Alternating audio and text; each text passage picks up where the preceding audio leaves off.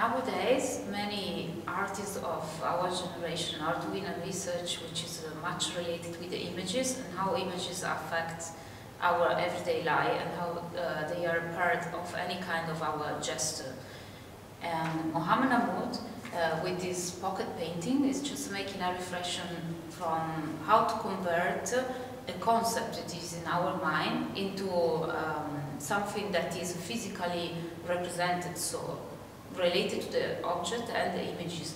Uh, this pocket painting is a, is a singular encounter in between uh, simple elements that usually are part of the painting itself. So the stone, uh, something that you can draw with, and the canvas, but uh, not as pure as it is, but with these pockets that are the kind of uh, objects or uh, the space where the canvas can contain some ideas, and then the color. The color is always flat and monochrome and different as the stones and as the fixtures and objects that take uh, origins along the canvas.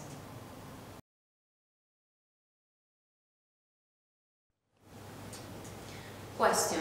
The objects become the images or vice versa. This is the issue that Gabriele De Santis tells in, uh, in his works we have this uh, marble painting, uh, which is made by the artist uh, taking a surface of marble and painted on top of it.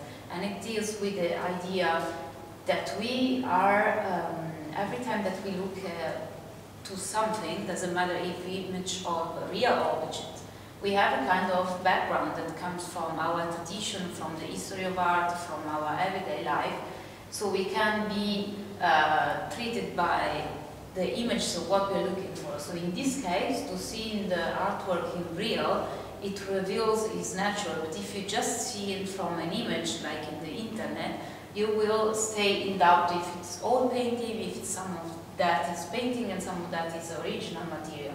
So looking into something and try to um, follow all the running and running time that we have nowadays, it's really difficult and we have to take care a lot to, uh, when we look at an image, if the image is treating us or is revealing us some truth.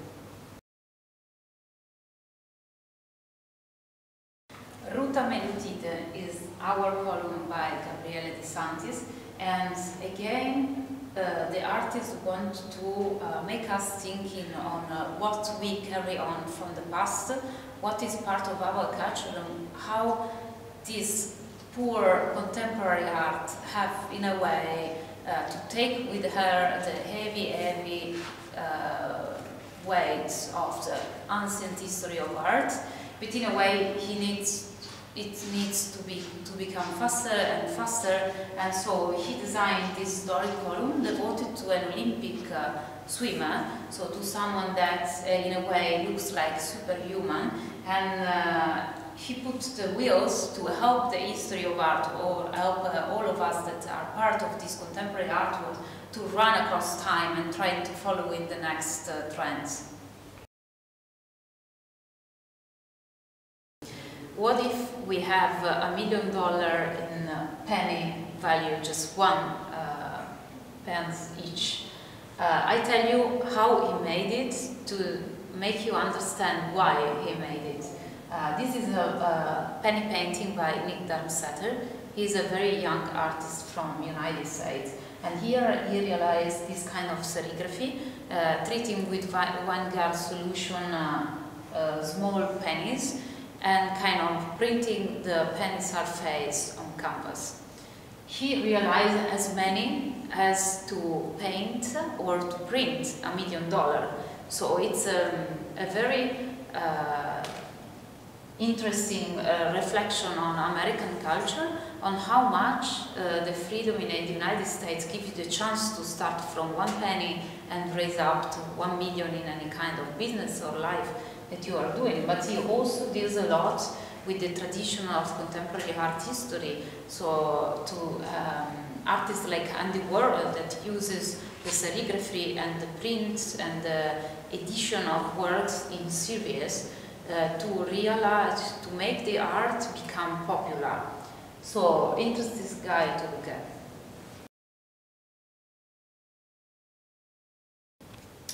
exaltation of American culture through a statue choice that reveals a new set of stereotypes.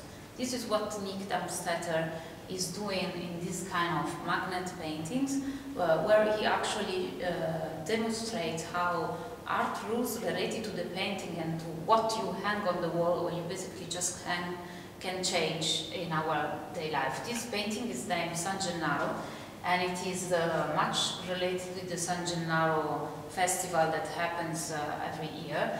And um, he basically realized something that is very common in the uh, United States to have these magnets on the fridge.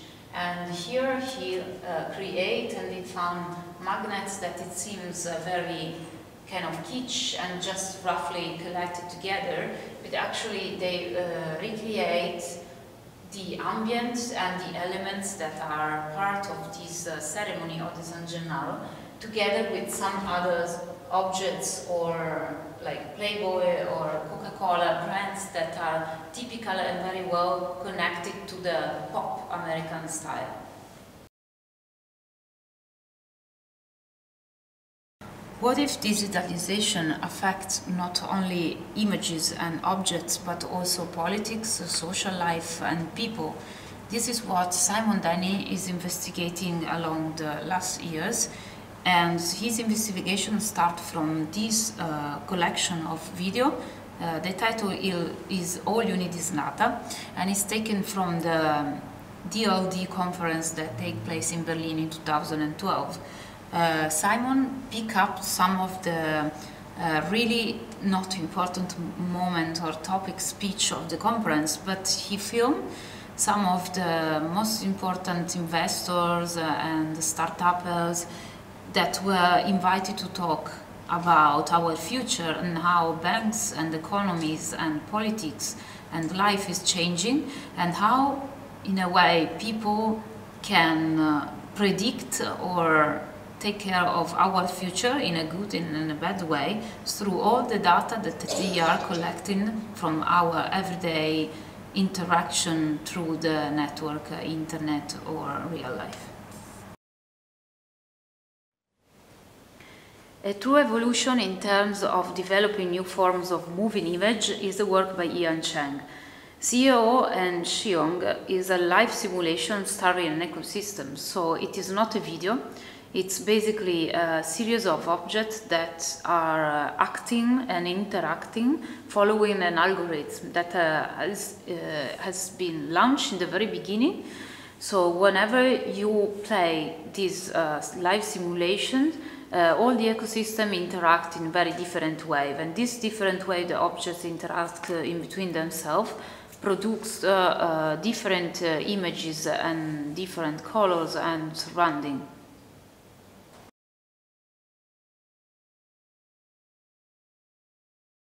Nowadays, in uh, our everyday life, uh, we spend most of our time in front of computers. And what we see in computers is basically flat uh, two-dimensional images. This is very much related to contemporary life and uh, also with the idea and the manipulation that we are keeping doing on images, editing images, editing colors and taking actually the real object out of its uh, real and natural environment. So Deimantas Narkevičius is asking to us, but what happens then if you take a sound just off his natural environment? And so he created uh, Tango uh, of a Lomo film, which is this installation, which is made by a sound system from the cinema in the 60s uh, from USSR period. And he created a special machine that converts digital sound into a tape recorded sound. And he invites everyone to come here and take from uh, uh, Spotify any kind of music and play it and listening out of the digital perfect sound and back to this uh, historical kind of uh, uh, sounding machine. So of course, while we are filming through a digital machine back again, uh, you would probably lose a part of of the, of the entire uh, sounds, but you are more than welcome to come here and play on your